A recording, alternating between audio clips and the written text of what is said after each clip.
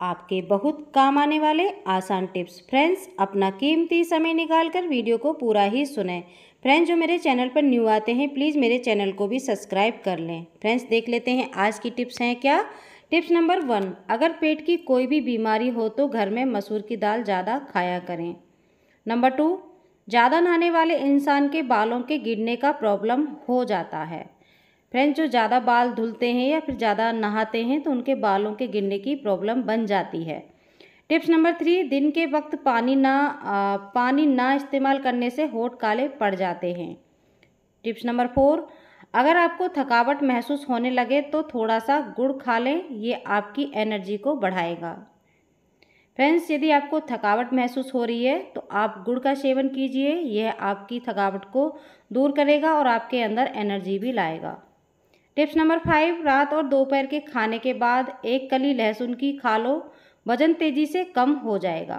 Friends, दोपहर का खाना हो या फिर रात का खाना हो, उसके बाद आप एक कली लहसुन की खा लेंगे तो आपके वज़न काफ़ी कम होने लगेगा। टिप्स नंबर सिक्स, एक सांस में कभी भी पानी नहीं पीना चाहिए, इससे सीने में दर्द पैदा हो सकता है। टिप्स नंबर सेवन अगर आप अपना वज़न बढ़ाना चाहते हैं तो आलू उबाल कर खाएँ, इससे आपका वज़न बहुत जल्दी से बढ़ जाएगा। टिप्स नंबर एट, हाथ पाँव काले रंग के हों तो ऊँटनी का दूध लगाओ, सफ़ेद हो जाएँगे। फ्रेंड्स जिनके हाथ या पैर बहुत ज़्यादा काले होते हैं तो आप ऊँटनी का दूध ज़रूर लगाएँ, इससे आपके हाथ पैर साफ़ सुथरे हो जाएँगे। टिप्स नंबर नाइन, सुबह के समय भीगे हुए चने खाने से वज़न तेज़ी से बढ़ता है। साथ ही मसल्स भी मज़बूत होते हैं। सो फ्रेंड्स सुबह भीगे हुए चने खाने से आपका वज़न तेज़ी से बढ़ता है और आपके मसल्स भी बहुत मज़बूत होते हैं। टिप्स नंबर टेन अक्सर रसोई में सावधानी से आ, काम करने पर हाथ पाँव जल जाएँ तो जैतून का तेल लगाने से आराम मिलता है। फ्रेंड्स यदि कोई भी काम हम किसी किचन में कर रहे हैं और असावधानी से कोई भी आ, हमारे हाथ या पैर कोई भी जल जाए तो आप जैतून का तेल लगा सकते हैं इससे आपको काफ़ी आराम मिलेगा। टिप्स नंबर इलेवन बालों की लंबाई बढ़ाने के लिए नारियल के तेल में आंवला पाउडर मिलाकर बालों की जड़ में मसाज करने से बालों की लंबाई दोगुनी तेज़ी से बढ़ती है। टिप्स नंबर ट्वेल्व जो रोज़ाना सुबह के वक्त एक टमाटर खा लेते हैं उनके बाल कभी सफ़ेद नहीं होते हैं। फ्रेंड्स रोज़ाना सुबह के टाइम एक टमाटर का सेवन कीजिए आपके बाल कभी भी सफ़ेद नहीं होंगे। टिप्स नंबर थर्टीन आधे सर के दर्द में अंग, अंगूर का जूस ज़्यादा से ज़्यादा इस्तेमाल करो दर्द कम हो जाएगा। जिनके आधे सर में दर्द की शिकायत है वो अंगूर का जूस ज़्यादा से ज़्यादा इस्तेमाल करें उनको जो दर्द की शिकायत है वो कम हो जाएगी। टिप्स नंबर फोर्टीन एक चम्मच दालचीनी का कुल उपयोग दिन भर में किसी भी रूप में करने से निरोगी रहेंगे। फ्रेंड्स, आप दालचीनी का इस्तेमाल किसी भी रूप में कीजिए, आप चाय के रूप में लीजिए, आप किसी भी तरह से लीजिए, इससे आप काफ़ी निरोगी रहेंगे। टिप्स नंबर फिफ्टीन, स्त्रियों के मासिक धर्म की खराबी में पुदीने की पत्ती की चाय बनाकर पीने से लाभ मिलता है। नंबर सिक्सटीन, बुखार कम नहीं हो रहा है तो फ़ौरन चावल का उबला हुआ पानी पी लो, फ़ायदा होगा। Number seventeen.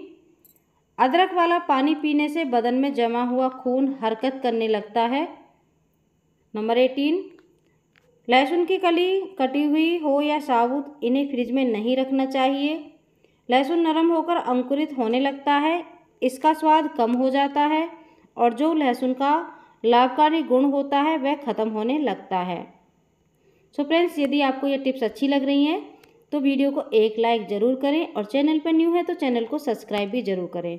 फ्रेंड्स, वीडियो को पूरा ही वॉच करें, तभी पता चलता है कि वीडियो में है क्या। हो सकता है कोई भी एक टिप्स आपके काम की हो, जो आपके बहुत काम आए और वो आपसे मिस ना हो, इसलिए वीडियो को पूरा ही वॉच करें। टिप्स नंबर नाइनटीन, फ्रिज में ब्रेड को रखने से बचना, बचाना चाहिए। खुले के खुले में सामान्य तापमान में रखने से ब्रेड अधिक समय तक चल जाती है, लेकिन फ्रिज में इसके जल्दी ख़राब होने का खतरा रहता है। टिप्स नंबर ट्वेंटी, अगर केला खाने से आपको कब्ज की प्रॉब्लम होती है तो केला खाते समय उस पर थोड़ा सा काला नमक डालने से इससे कब्ज की समस्या नहीं होगी। नंबर ट्वेंटी वन, जब छींक आने लगे तो सर को झुका लो, याददाश्त अच्छी हो जाएगी।